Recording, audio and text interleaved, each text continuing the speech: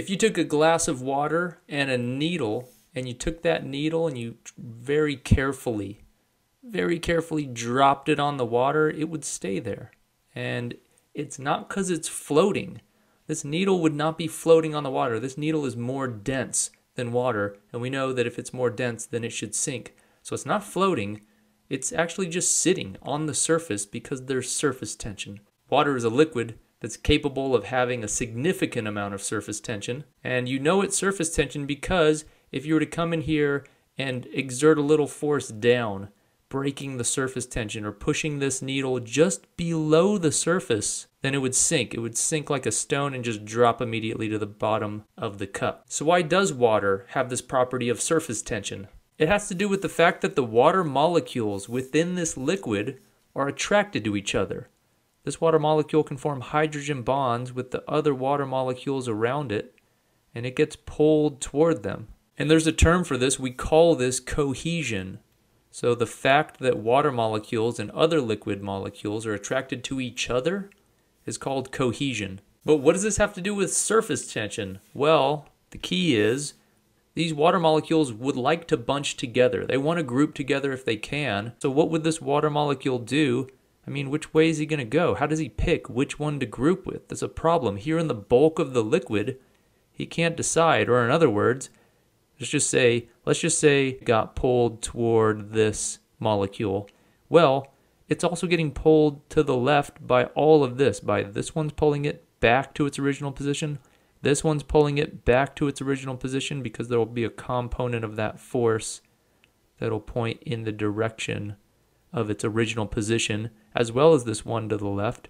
So these are restricted. These molecules here in the bulk of the liquid have too many other water molecules around them dictating where they need to be because if they tried to get displaced, it'd pull them back to that position. However, at the surface, there's no water molecules above them. These are freer, they're less restricted. So that allows these water molecules on the surface to group together a little better, form stronger, tighter bonds, closer spacing at the surface in such a way that they form a tension that's not present in the bulk of the liquid. Yes, these water molecules down below will prevent them from just grouping into one big clump in the center, but since they're less restricted, they can form these tighter bonds here at the surface, and this allows it to support a pressure from above.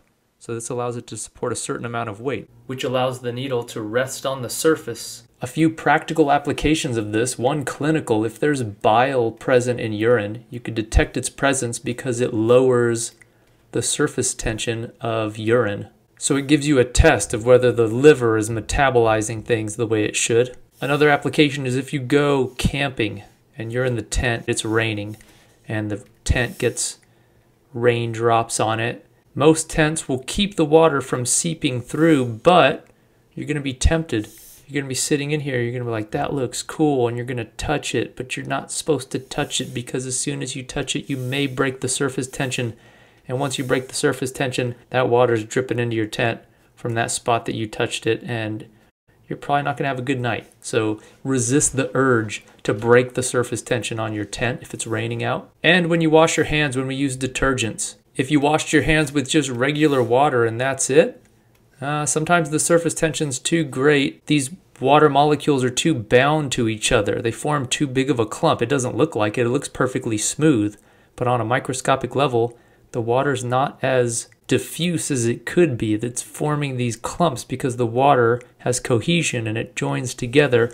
But if you add a little soap to the scenario, that breaks the surface tension. It lowers the surface tension, which means these water molecules don't clump together as much. And if they're not clumping together, they can get into the small cracks, which kicks out the dirt in your hands and this water is better able to penetrate into the smaller cracks and get where it needs to go. So surface tension is due to cohesion between the water molecules at the surface of a liquid, but water molecules aren't just attracted to each other, they're actually attracted to the container too and other materials. And that's called adhesion. So the fact that water molecules are attracted to other materials as well is called adhesion. So what happens is this water molecule isn't just attracted to the other water molecules, it's attracted to the wall, and these water molecules climb the wall a little bit.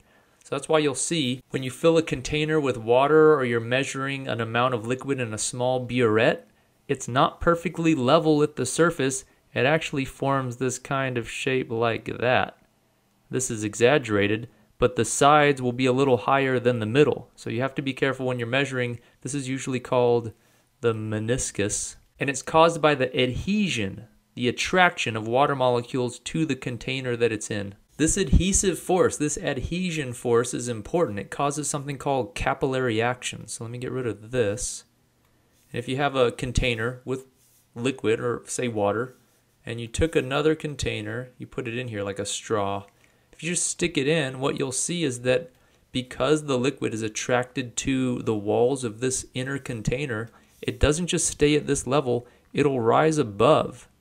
It pulls this up a little bit above the surface level of the water.